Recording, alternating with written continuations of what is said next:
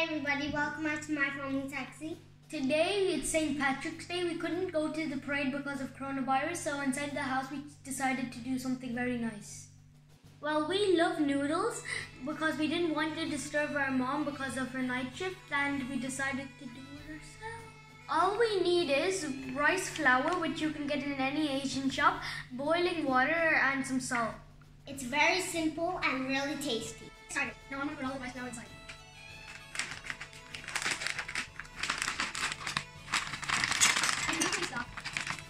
Make faster, that's why.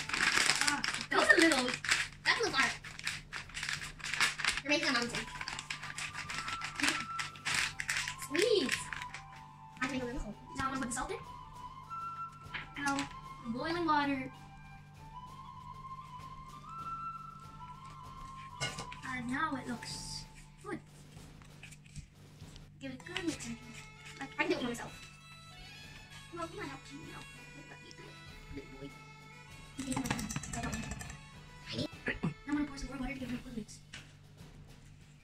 Now we have mixed it really well. Now we're going to show you how to make the rice noodles by ourselves. This is where the magic comes in. I filled this with rice flour and now I'm gonna tighten this.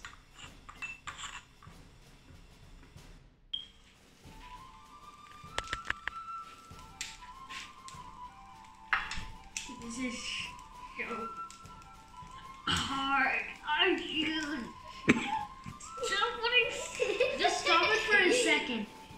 Now we need to fix it. I put too much. The white's too much. I'm gonna put some on this side. That's why. so funny. Now it's ready to be steamed.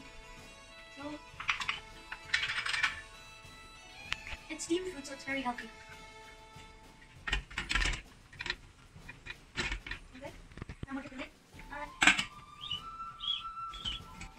10 minutes, then it's gonna be ready to eat.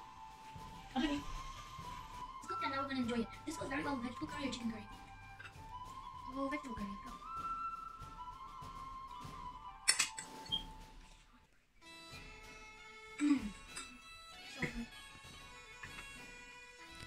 I hope you enjoyed this video. Please subscribe to my family taxi and we'll see another episode. Bye.